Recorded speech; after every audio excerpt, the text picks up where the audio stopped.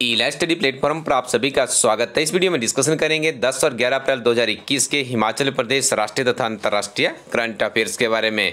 पहला प्रश्न है, दुनिया का सबसे ऊँचा रेलवे आर्क ब्रिज कहाँ पर निर्मित किया गया है?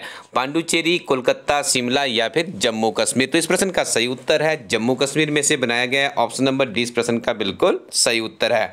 साथ में याद रखिएगा जम्मू और कश्मीर में दुनिया के सबसे ऊँचे रेलवे पुल का आर्च, जिसकी ऊंचाई चिनाब नदी के तल से 359 मीटर है, का निर्माण पूरा हो चुका है। अगला प्रश्न है, केंद्र सरकार ने वित्त मंत्रालय के तहत नए राजस्व सचिव के रूप में किस अधिकारी की नियुक्ति को मंजूरी दी है? तरुण बजाज, तरुण श्रीधर, तरुण कपूर या फिर तरुण शर्मा? तो इस प्रश्न का सही उत्तर है, Tarun Bajaj, option number A is the right answer. Football को संचालित करने वाली संस्था फीफा ने किस देश के फुटबॉल फेडरेशन को सस्पेंड कर दिया है?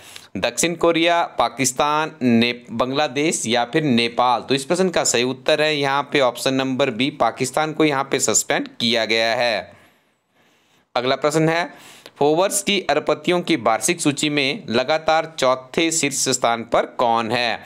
Elon Musk, Ratan Tata, Jeff Bezos या मुकेश अंबानी। इस प्रश्न का सही उत्तर है, Jeff Bezos. Option number C is the right answer.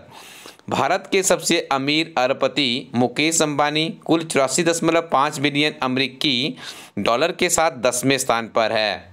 अगला प्रश्न है, कौन सी भारतीय महिला नौका चालक ओलंपिक के लिए क्वालिफाई करने वाली पहली महिला बन गई है? अंकिता शर्मा, मनीषा कुमारी, नेत्रा कुमानन या फिर अंजलि शेखावत तो इस प्रश्न का सही उत्तर है, Nethra Kumanan. Option number C is the right answer. सात अप्रैल 2021 को बनाए गए विश्व स्वास्थ्य दिवस की थीम क्या थी? तो देखिए, इसकी थीम है सभी के लिए एक स्वच्छ, स्वस्थ दुनिया का निर्माण करना।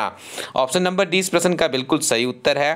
तो याद रखिएगा, सात अप्रैल को मनाया जाता है विश्व स्वास्थ्य दिवस और इस वर्ष की थीम थी सभी के लिए एक स्वच्छ, स्वस्थ दुनिया का निर्माण। बेबल राम कलावन किस देश के राष्ट्रपति है? दक्षिण कोरिया, बांग्लादेश, किर्गिस्तान या फिर सेशेल्स? इस प्रश्न का सही उत्तर है ऑप्शन नंबर डी, सेशेल्स से इनका संबंध है। और हाल ही में हमारे प्रधानमंत्री मोदी जी द्वारा इनके साथ वर्चुअली मीटिंग की गई। इस कारण से नाम सुर्खियों में है। एच एस अलाइड और नायब तहसीलदार में इस तरह के प्रश्न हमें देखने को मिलते हैं।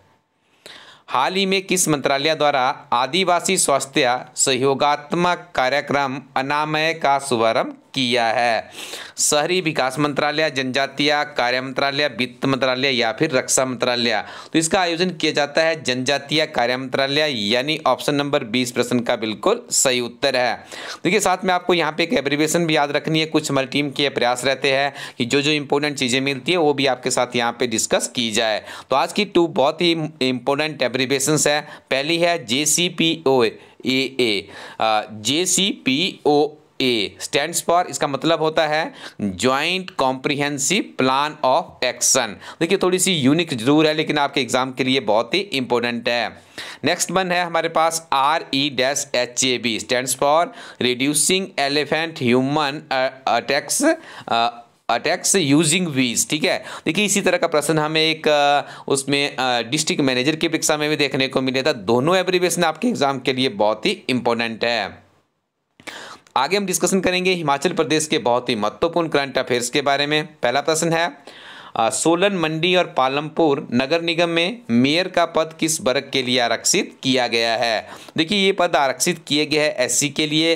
हाल ही में जानकारी विभिन्न तरह के समाचार मंदिरों समाचार पत्रों में प्रकाशित हुई है। साथ में आपको याद रखना है धर्मशाला नगर निगम में सामान्य वर्ग से संबंधित है।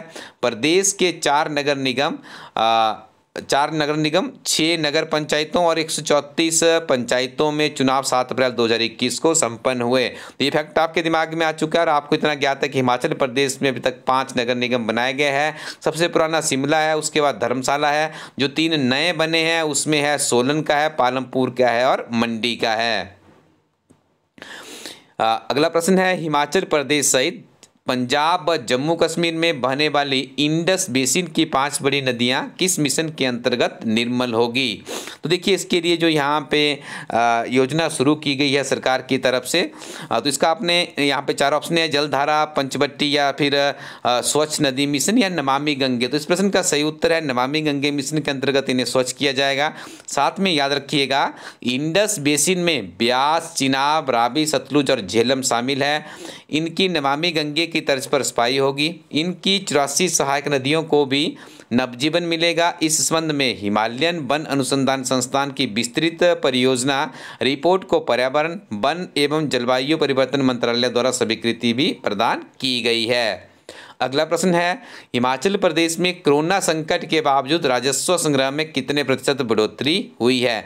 तीन परसेंट चार परसेंट पाँच परसेंट या छः परसेंट तो इस प्रश्न का सही उत्तर है ऑप्शन नंबर ए, तीन परसेंट इसमें बढ़ोतरी देखने को मिली है। साथ में फैक्ट भी याद रखिएगा, वित्तीय वर्ष 2019-20 में कुल राजस्व प्राप्ति छः हज़ार सात सौ छियानवे करोड़ थी, जो कि वर्ष 2020-21 में सात हज़ार करोड़ रुपए तक पहुँच गई है। मार्च 2021 के लिए कुल राजस्व संग्रह एक हज़ार छः करोड़ रुपए रहा है।